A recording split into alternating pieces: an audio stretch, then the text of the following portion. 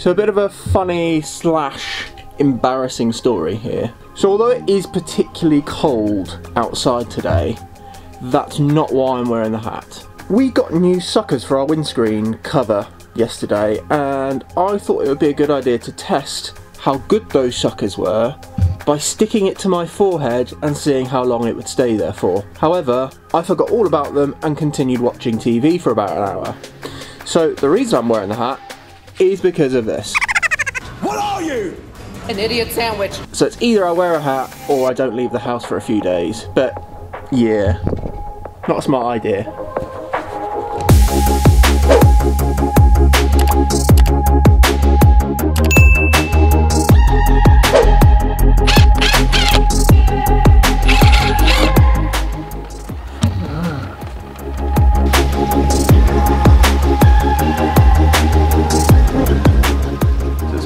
Wet and blustery day again today, so I'm hiding in the garage. However, today we are going to be cutting down some strips of 9mm ply for the roof. I want to create a sort of inverted T shape. And the reason I want to do that is because we've used 50mm Celotex insulation in the roof and where the ribs on the roof of the van come down to don't come down as far as the 50mm, they are less than 50mm. So I'm having to create a sort of a batten along the rib to make the rib a little bit longer and then create the correct batten on top of that that is both going to wedge the insulation in but also serve as something to screw the roof into. Now the obvious reason why we're not screwing the our roof straight into the ribs of the van is because of cold bridging. We want to avoid cold bridging. That this is what you have to do to avoid that. So yeah, let's uh, cut down some ply.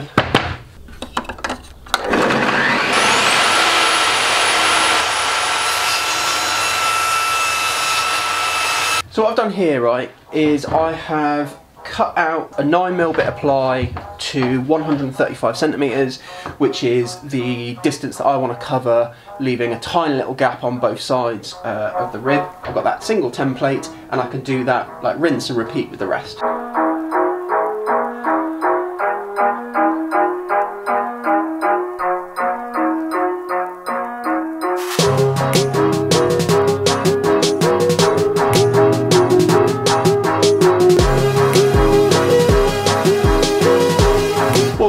Is to take it into the van, offer it up to the ceiling and uh, get it all fitted. Let's do that.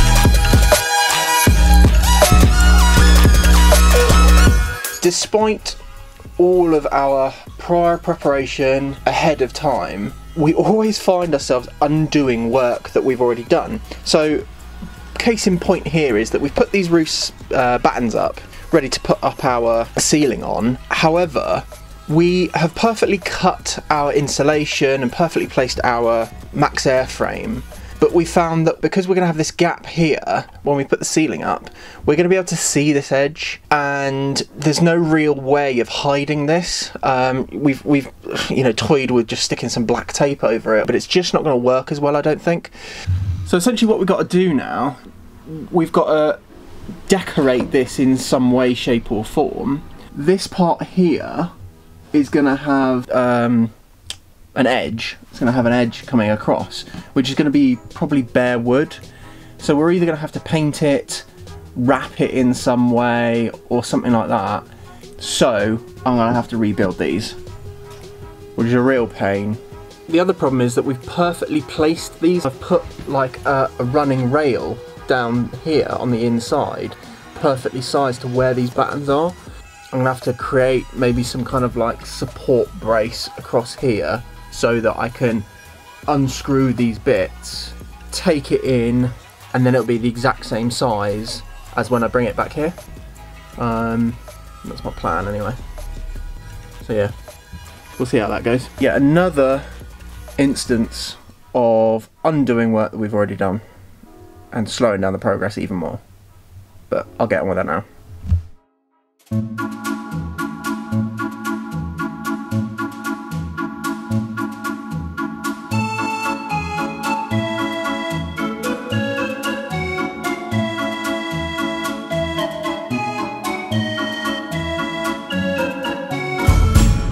Looks really squiff. It looks like that side is uh, smaller than that side. It, it's not. It's just the perspective of where I've randomly put these um, these two scrap bits of wood in. So I'm now going to take it into the workshop and fashion something.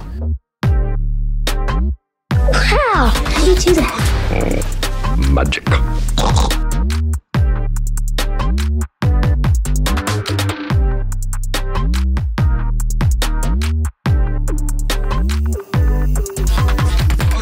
Well, day three of having this ridiculous thing on my head, but we've made some progress. We've actually got one of one of the roof boards up.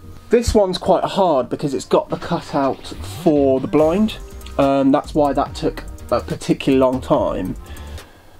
The next one we hope is going to be a lot easier because it is just a you know a single solid bit. Um, so we're going to wrap it now, then stick it up, then again, we've got another piece here and then one final piece at the back.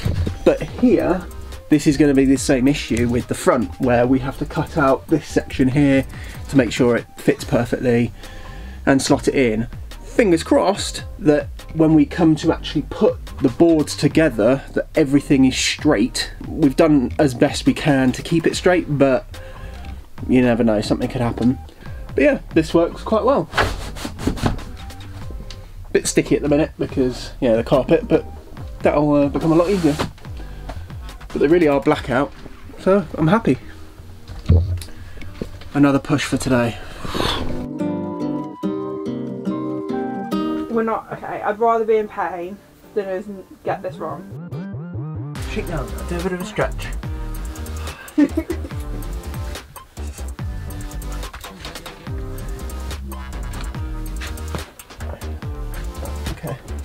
so are we happy here Ooh. happy here Happy? Are we happy here? And are we happy here? Yes. Okay. Okay, now you let go. Have a double check. I'm gonna double check. Why? Yep, that's all good. Okay, now go. We're having to slightly modify our plan a little bit. We were going to have these beams coming across and fixing the ceiling ply to it. We can't nail down this side or screw down this side because it's in the in the way of the blind. We were really really kind of squashed as to where we had the slats join. They were going to join there and there was just too much risk of tear out and stuff like that. So what we decided to do is create these kind of cross beams here, essentially duplicate what we've got, but just that way instead. That way we can then create a join here with the wood, which is what we've already cut for. It'll be as strong as if we had screwed it into here with no risk whatsoever. Um, if we didn't have these, then the, the ply would potentially bend like that at the edge.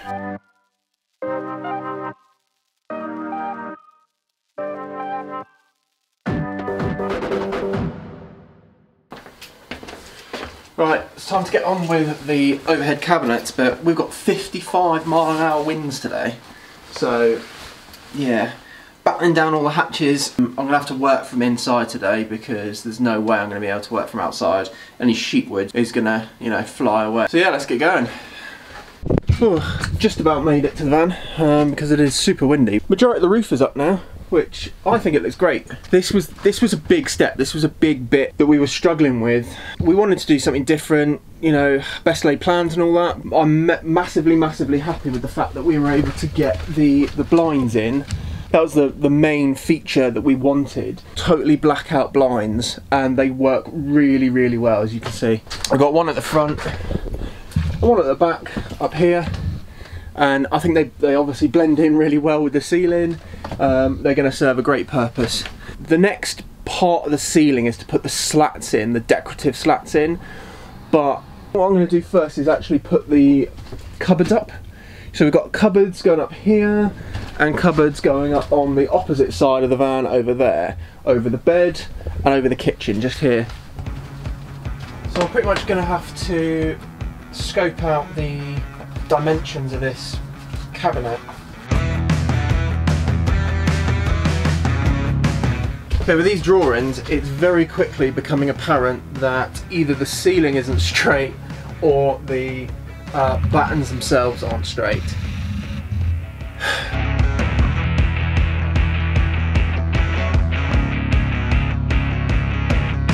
Oh, it's cold today. It is cold today. Oh, but uh, I'm allowed out the house without a hat. Yeah! Forehead is clear. Routine. Routine is important, at least it is for me. When I was working and I moved to a job where we worked from home, I always, always needed a routine in the morning, and that was to put on the uniform that I would have normally worn for work. And I found any day, which was very few in the end, because of this reason, if I got up, stayed in tracky bottoms and a jumper, broke that cycle of routine, and sat at my desk, my day was really unproductive and really distracted. But the thing that's different about my routine with the van versus my routine when I was at work, I would start work at eight o'clock. That would be when I was sat at my desk, you know, starting my day's work. However, with this, in the UK, there is a something called a noise abatement law. It generally means you can't make loud building noise and you've got to stop it. I think it's after five o'clock. Because my neighbours have been so good about the massive van on the road, I'm making noise all hours of the day. You know, I don't want to stretch that goodwill. So I make sure that I only work from nine o'clock or noisy work from nine o'clock in the morning. Now, generally, I get up at eight. I'm out in the van by around about 8.30 assessing what work i need to do and then prepping everything so that once that clock ticks 9 o'clock i can then get on with the van. But i want to make sure that i work from my 8 in the morning to my 4 5 in the afternoon as if i actually have a real job. So yeah routine. And the reason i'm waffling on about it now is because it's 8.30 and i can't start work for another half hour.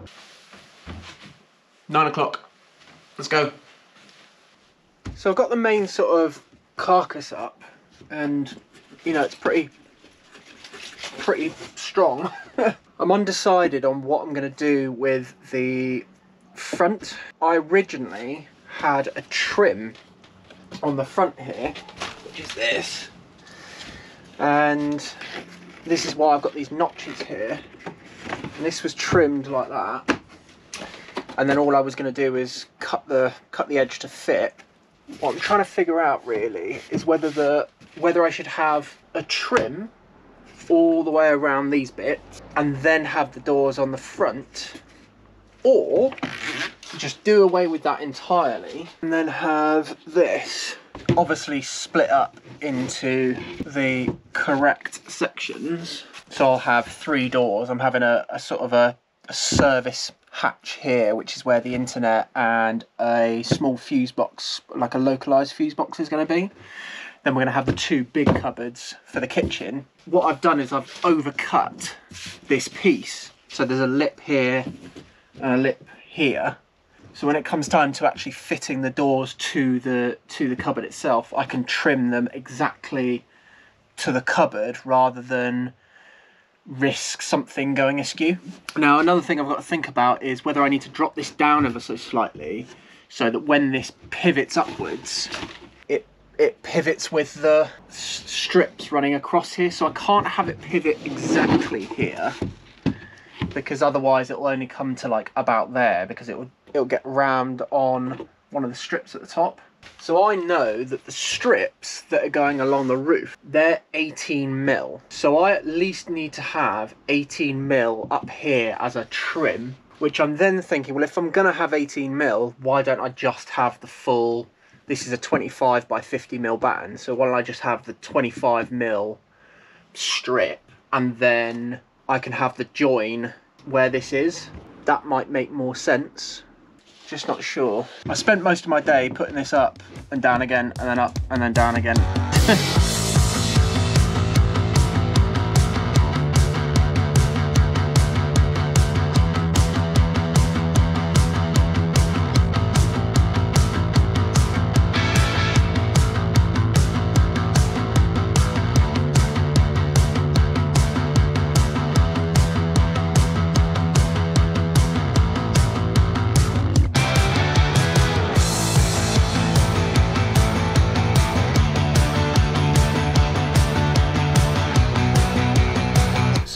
looks like one piece, just here. If I start to undo these clamps, you can see that this one piece is actually two. Um, so it gives a really, really nice cut if you have a template. Although it's a bit hard to see at the minute, the front edge, because of how I've built it, is really messy. So to try and get rid of all that, you know, messy edges, what I've done is I've just stuck a 5mm bit of ply onto the front here. And then that way, what I'm going to do is I'm going to use my router and kind of just carve these bits out. By doing that, it means that when we open the doors that we're going to put on the front, you're, you know, you see a nice fresh face. You don't see ugly, rough cut edge just here. By doing this with a router instead of doing it sort of on a with a jigsaw and stuff like that, I can trim around the exact edge rather than potentially messing it up a bit by taking it away, cutting it, having the edges. I've already done that a little bit with the carcass, so I'd rather avoid it. Do it this way with the trim router. I've covered everything in plastic because the router kicks out a lot of dust.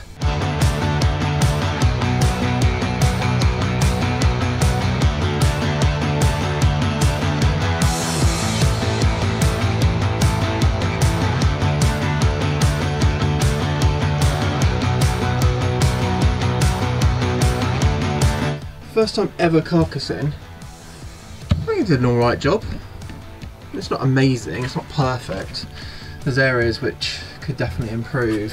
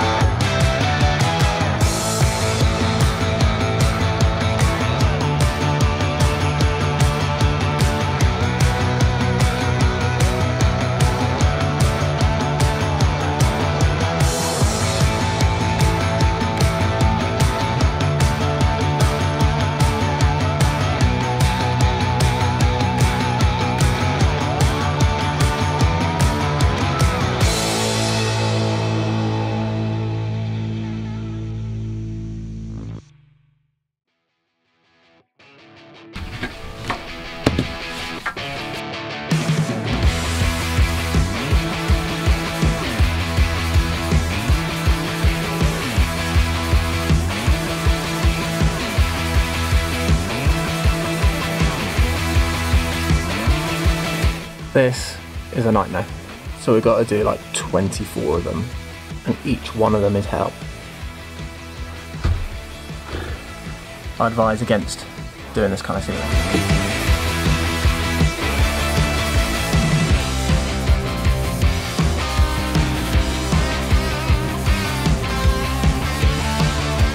I like it. I think it looks really smart. It's been a right pain in the ass, but good.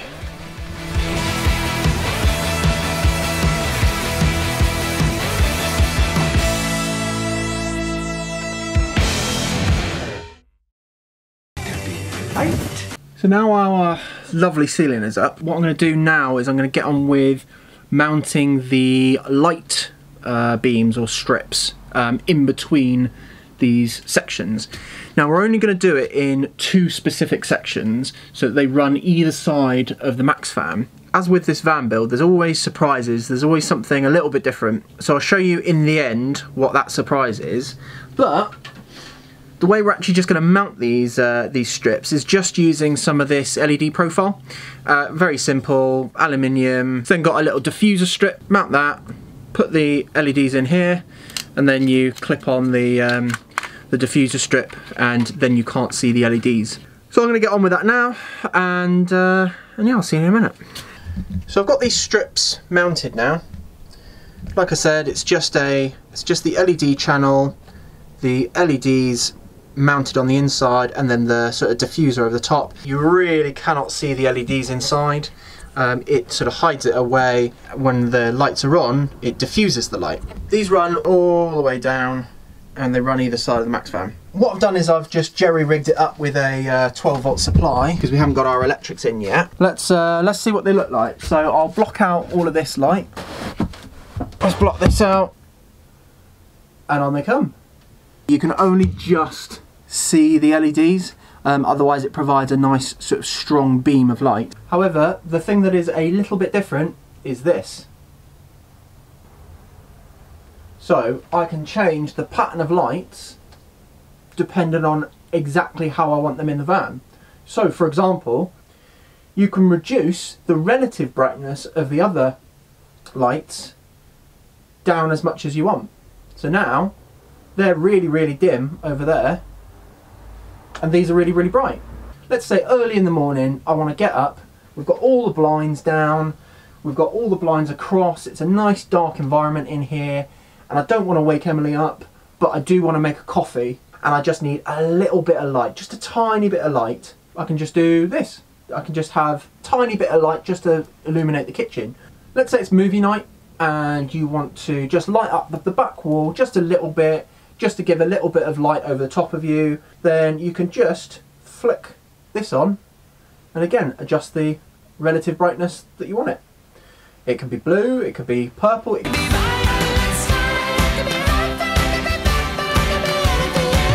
It can be literally any colour along the spectrum. Or I can just light them all up and again choose any colour along the spectrum. Absolutely any colour that I want. Yes, I individually adjusted them by the app.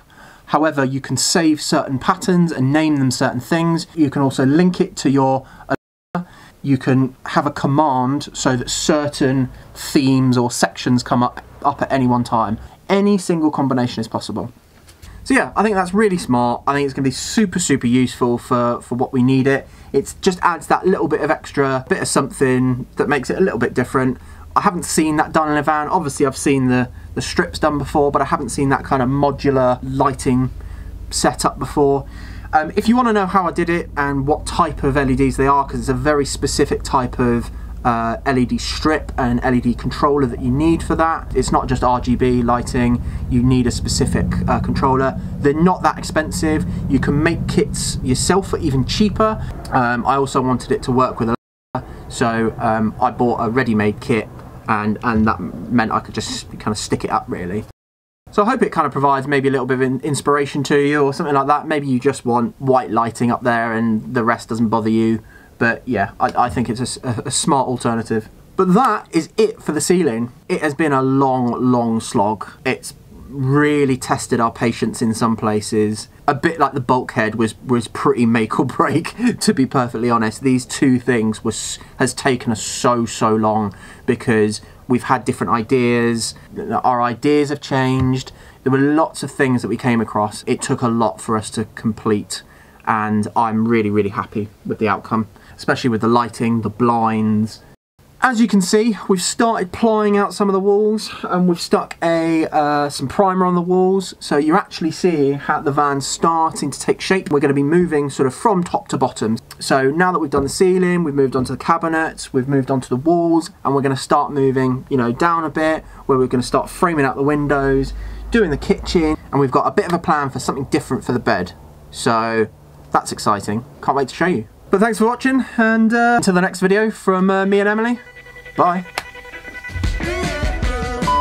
Butter and stuff like that. So.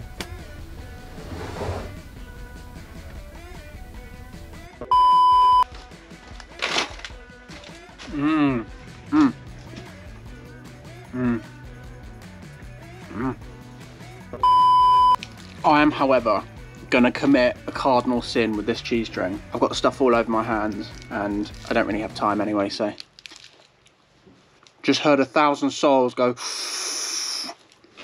Sorry.